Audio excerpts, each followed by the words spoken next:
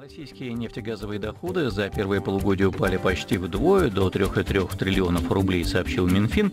Там ссылается на снижение объемов экспорта газа и цен на него, а также котировок нефти Юрус. В то же время растут доходы от налогов на прибыль и оборотных. Во втором полугодии Минфин ждет восстановления налоговых поступлений и снижения дефицита бюджета. За счет чего? Нефтегазовые поступления в бюджет тоже вырастут, считает экономист по России Bloomberg Economics Александр Исаков.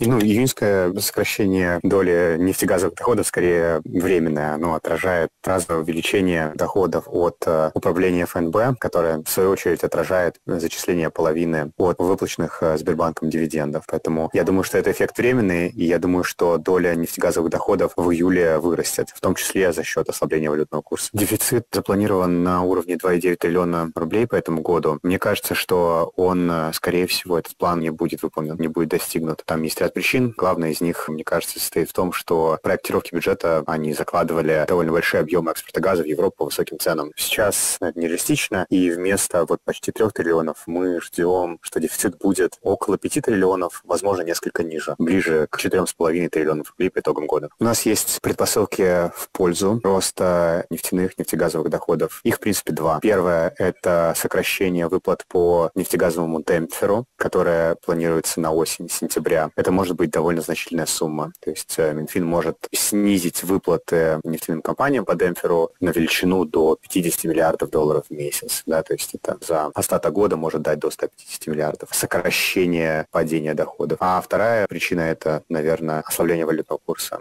Александр Исаков, Bloomberg Economics. Согласно прогнозам Минфина, восстановить налоговые поступления во втором полугодии помогут сокращение дисконтов, а также уточнение механизма определения базы нефтяных налогов.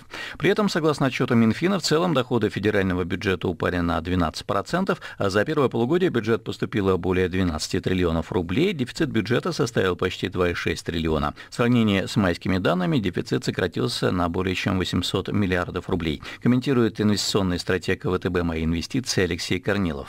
Для российской экономики, в принципе, такая структура бюджета выглядит достаточно разумно. Все-таки страна богата нефтегазом, и поэтому та доля в бюджете, которая сейчас присутствует в доходах, она, в принципе, выглядит разумно. Единственное, что, наверное, было бы хорошо, и что действительно и происходит по факту, это более, так сказать, высокая добавленная стоимость от тех нефтепродуктов, которые можно получить. В общем-то, мы как раз наблюдаем, что в России сейчас именно больше упор делается на то, чтобы высокая добавленная стоимость оставалась в стране. И поэтому есть примеры, хорошие примеры, допустим, Амурского газоперерабатывающего завода, где переработка природного газа, получаются дорогостоящие фракции, например, гелий, который стоит в десятки раз дороже обычного природного газа. Это можно только приветствовать и радоваться, когда такое происходит. Если говорить на коротком горизонте, то во многом объемы поступлений от нефтегазовых доходов зависят от э, конъюнктуры на рынке, на текущий момент. И здесь действительно есть э, положительные предпосылки, факторы. Мы знаем о том, что с 1 июля Саудовская Аравия добровольно сократила добычу нефти на 1 миллион баррелей в сутки. Также есть намерение с российской стороны с августа присоединиться к этому и добавить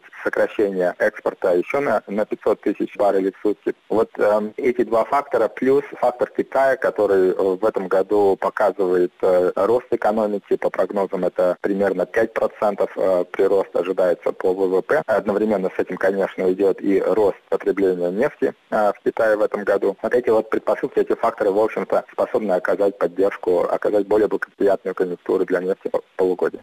Алексей Корнилов, ВТБ «Мои инвестиции». По данным Минфина, расходы федерального бюджета за первые полгода составили почти 15 триллионов рублей, а по оценкам экспертов, страны, которые снизили добычу нефти в рамках ОПЕК+, пока не смогли компенсировать потери ростом цен, а так что недобор в бюджет может э, появиться и у других экспортеров. При этом для доходов России ситуация осложняется большим дисконтом.